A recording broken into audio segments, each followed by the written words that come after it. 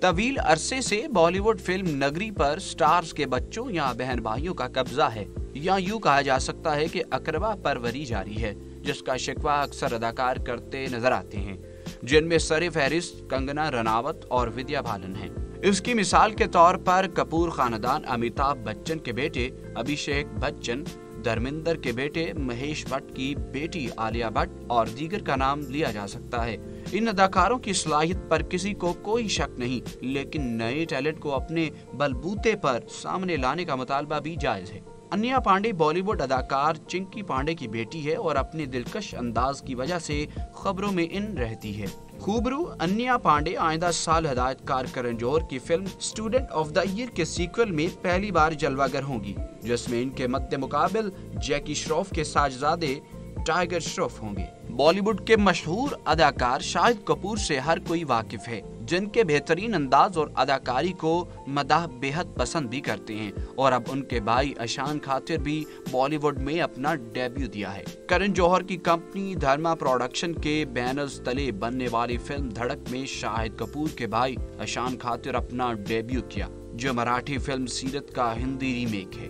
جانوی کپور بالی would کی خوب رو اداکار سری دیوی اپنی دلکش اداؤں اور نہایت عمدہ اداکاری کی وجہ سے آج بھی مقبول ہیں۔ سری دیوی کا شمار ان اداکاراؤں میں ہوتا ہے جنہیں آج کی اداکارائیں بطور سٹائل آئیکون اور ایک آئیڈیل کے طور پر فالو کرتی ہیں۔ ایسے میں ان کی ساجزادی نے بھی بالی ووڈ میں فلم دھڑک کے ساتھ ڈیبیو کیا۔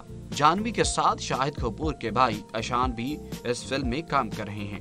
سارا علی خان بالی ووڈ میں چھوٹے نواب کے نام سے مشہور سیف علی خان کے ساجزادی ہیں۔ سارا علی خان فلم کیدر ناتھ میں ایک نوجوان ظاہر کا کردار نبھایا، جو ہمالیہ کے پہاڑوں کے درمیان تیرتھ یاترا پر جاتی ہیں۔ فلم میں سارا علی خان پہلی بار سشانت سنگھ راجبوت کے ساتھ کام کیا، جو اس سے قبل بالی ووڈ میں کئی فلمیں کر چکے ہیں۔ عامر خان بھی بیٹے کو بالی ووڈ میں انٹری دلانے کے خواہش مند ہیں۔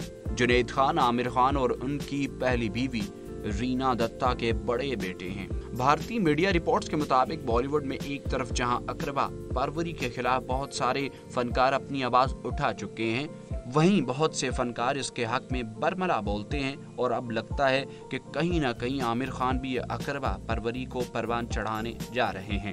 اداکار کا کہنا ہے کہ ان کا خاندان ان کے چھبیس سالہ بڑے بیٹے جنید خان کے لیے بالی ووڈ میں ڈیبیو سے متعلق اچھے سکرپٹ کا انتظار کر رہے ہیں۔ لیکن مجھے ایسا لگتا ہے میری زندگی پر مبنی فلم میں میرے کردار کو بہت بہترین انداز میں جنید ہی کر سکتا ہے۔ عامر خان نے کہا ہے کہ ان کا بیٹا ایک سال سے تھیٹر کر رہا ہے، لیکن میں اسکرین کی طاقت پر یقین رکھتا ہوں۔ جس کے لیے جنید کو بہت کچھ کرنا ہوگا۔ ایک باپ ہونے کے ناطے میرا جنید کو یہی مشورہ ہے کہ وہ ایسی فلموں میں کام کرے جس میں واقعی کرنے والا کردار ہو۔ یہ وہی قانون ہے جس پر میں نے بھروسہ کیا اور اسی کے مطابق میں بھی چلا۔ فلم میں ہیرو بننے سے زیادہ ایک جاندار کردار ادا کرنا زیادہ بہتر ہوتا ہے۔ اور یہی اداکار کا مزہ بھی ہے۔ اداکار نے مزید کہا کہ ان کے پورے کریئر میں ان کے مداحوں نے ہمیشہ فلموں میں کیے جانے والے ان کے کرداروں کے نام سے یاد کیا اور یہی مجھے اچھا بھی لگتا ہے۔ کیونکہ اس سے یہ معلوم ہوتا ہے کہ جو کردار میری جانب سے ادا کیا گیا ہے وہ واقعی جاندار تھا۔